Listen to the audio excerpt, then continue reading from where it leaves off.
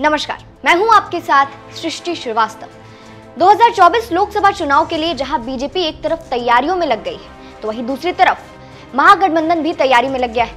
लेकिन सवाल है कि आखिर 2024 में महागठबंधन का पीएम उम्मीदवार कौन होगा? क्योंकि दो चेहरे ऐसे हैं जिनको लेकर चर्चा तेज है। क्योंकि देखिए, अभी विपक्ष को नया साथ जेडीयू का भी मिला है। तो चलिए, अब आपको पूरी खबर बताते हैं। 2024 लोकसभा चुनाव को लेकर राजनीतिक गलियारे में हलचल तेज है।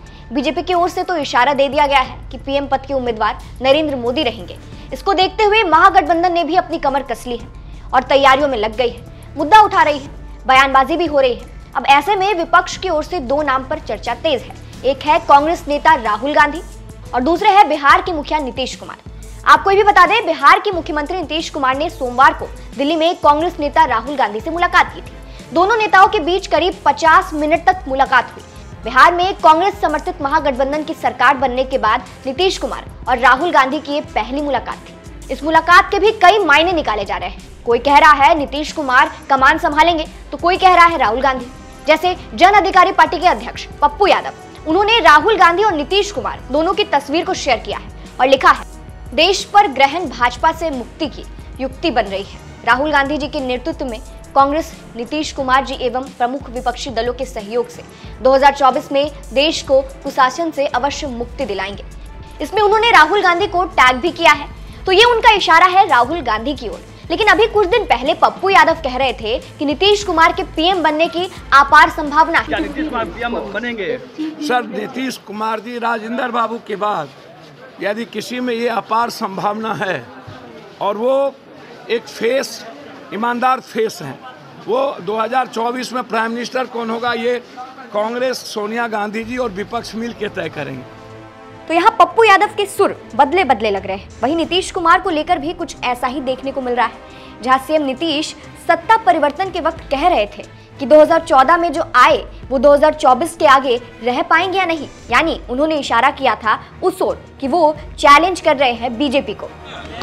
कि चौदह में जो आए चौबीस तक के आगे रह पाएँगे कि नहीं रह पाएँगे वो नरेंद्र मोदी जी को रोक लेकिन अब उनका कहना है कि पीएम बनने की कोई इच्छा नहीं है हमारी। तो एकजुट होंगे तो आपस में विमर्श करके जो भी चुनना करेंगे।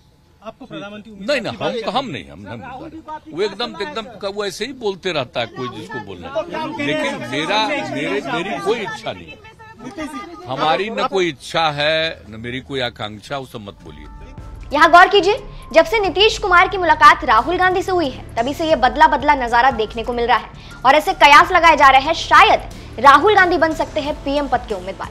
और ये मुलाकात शायद इसलिए ही थी, इसलिए तो सबके सुर बदल गए थे। कल तक नीतीश कुमार का नाम लेने वाले अब पीछे हट गए हैं। खैर, जनता का क्या कहना है, ये भी सुन लीजिए। एक यूज़र ने लिखा है 2024 तक दोनों अलग हो जाएँगे, देखते रहिए। दूसरे यूज़र ने लिखा है। दोनों पर शक है। एक और यूज़र ने लिखा है, उम्मीदवार कोई भी हो, बनेगा दोनों में से कोई नहीं। फिर ज़्यादा दिमाग लगा के क्या फ़ायदा? एक और यूज़र ने लिखा है, आटा को लीटर में देने वाला। एक और यूज़र ने लिखा है, कौन होगा क्या? राहुल के अलावा कोई पसंद नहीं। ये तो थी जनता की राय।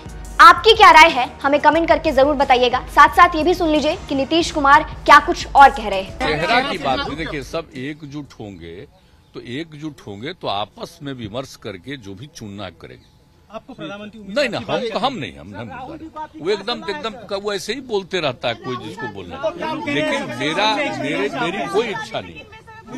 हमारी न कोई इच्छा है न मेरी कोई आकांक्षा उसे मत बोलिए। मेरी बस एक ही इच्छा है कि अधिक से अधिक विपक्ष अगर एकजुट हो जाएगा तो बहुत अच्छा होगा। उसके लिए जो हम लोगों का सहयोग होगा हम लोग करेंगे। लेकिन ये नहीं है कि हम लोगों का कोई दावा है। ऐसा कुछ नहीं कि हम लोगों का हमारा कोई दावा है।